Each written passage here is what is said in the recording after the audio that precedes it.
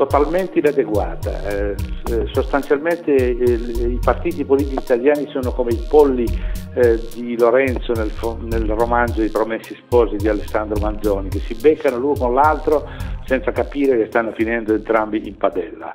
Eh, questo programma, questo progetto di risanamento è una dichiarazione di guerra dei governi e del governo europeo nei confronti dei popoli europei. Questa è la, l'unica definizione possibile.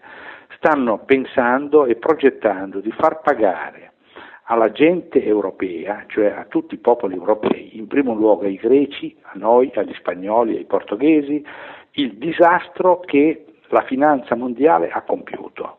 Non ci sono più dubbi in merito.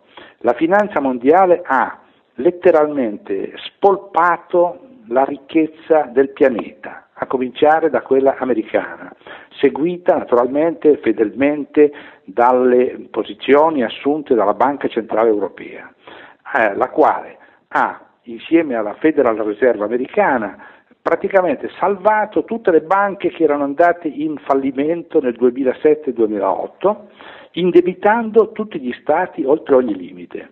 Quindi sostanzialmente noi stiamo pagando il disastro creato da Wall Street e dalle banche di investimento mondiali, tra cui molte banche europee, e adesso pretenderebbero di imporci un programma di risanamento che significa letteralmente eh, spolpare i redditi e il welfare state, quello che resta, delle popolazioni europee. Quindi questa è la vera spiegazione e non ci sono, non ci sono eh, in realtà non ci dovrebbero essere eh, discussioni in merito. In realtà i partiti e i governi che hanno autorizzato questo disastro sono tutti corresponsabili e adesso, non avendo capito nulla prima, continuano a non capire nulla neanche adesso.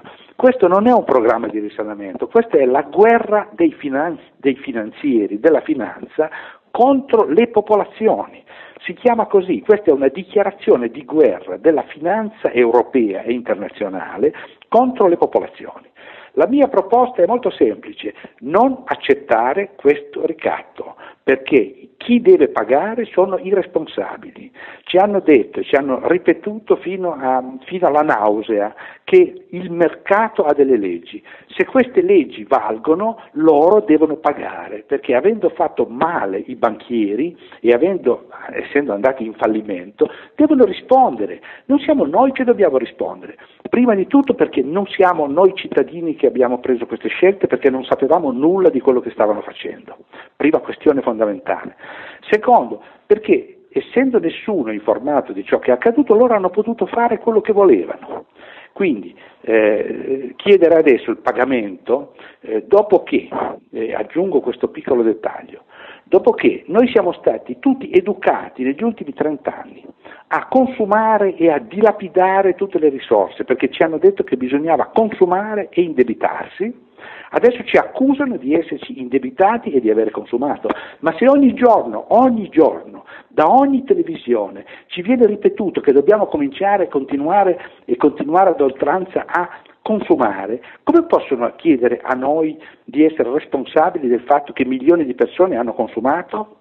Perché di fatto il nostro indebitamento collettivo, a cominciare da quello americano, perché io sto parlando dell'Europa, ma l'America è dieci volte peggio da questo punto di vista. L'America è costretta di fatto a essere ormai in bancarotta perché? Perché? perché hanno consumato molto più di quello che potevano consumare, molto semplice. Quindi tutta questa è una grande commedia, è una grande commedia che viene recitata in parte da veri e propri farabutti che sono i grandi detentori della finanza mondiale, veri e propri criminali mondiali, lo dico senza mezzo termine, a cominciare da Alan Greenspan che dopo aver trascinato il mondo intero nel disastro ha detto in un'intervista al New York Times qualche un anno fa, mi pare un anno e mezzo fa, scusatemi mi sono sbagliato.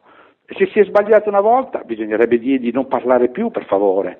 Ecco, quella gente lì dovrebbe andare tutta in galera direttamente. Quindi, in primo luogo questo. Secondo, i governi che hanno consentito alle banche di emettere denaro più di quello che ne avevano. Le banche non hanno nessun obbligo di mantenere delle riserve adeguate prestano soldi che non hanno e su questi soldi che non hanno chiedono l'interesse.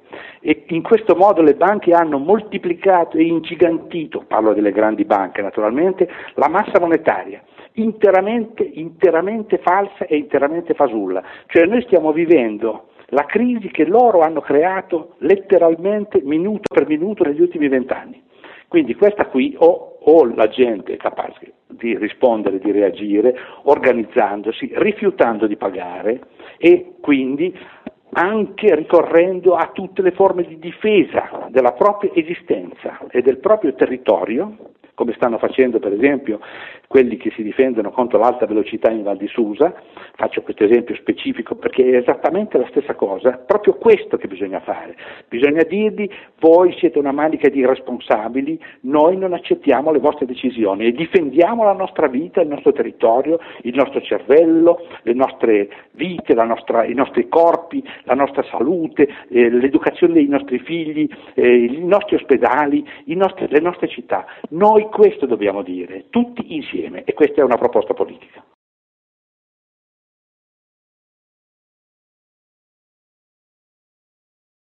Io sono certo che questo scontro sociale sta per esplodere, perché fino adesso noi non abbiamo ancora visto niente, finora ce lo hanno soltanto annunciato. Io ho letto un editoriale di, di, di un certo Sensini, so chi è, un economista, il quale addirittura dice, beh, bisogna abolire le pensioni di anzianità ma questa gente ci sta dichiarando guerra sul serio, stanno dichiarando che do- devono togliere le pensioni di anzianità a milioni di persone, il che vuol dire che praticamente un terzo della popolazione verrà gettata sull'astrico. Se arrivano a fare queste proposte vuol dire che sono eh, dire, convinti di potercela fare, bisogna spiegargli che non ce la faranno. Allora, io ritengo che quello che è successo e sta succedendo in Grecia è soltanto l'inizio. Quando la gente a milioni verrà posta di fronte a condizioni insostenibili, eh, si eh, ribellerà, è evidente che si ribellerà.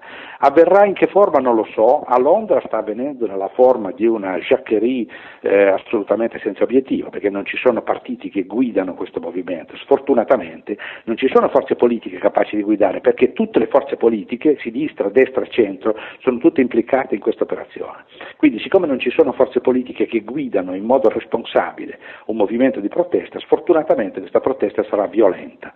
Io non propongo di fare proteste violente, ma temo fortemente, temo fortemente che quando queste misure verranno messe in atto ci saranno risposte violente, perché la gente, non essendo organizzata e diretta, reagirà in modo immediato e spontaneo e quindi si andrà a degli scontri sociali di grandi proporzioni. Questo diventerà un eh, si incendia l'Europa la politica della Banca Centrale Europea e dei governi centrali che sostengono quella linea sta incendiando l'Europa. Le conseguenze sono interamente nelle loro mani e la loro responsabilità è in questo senso assoluta.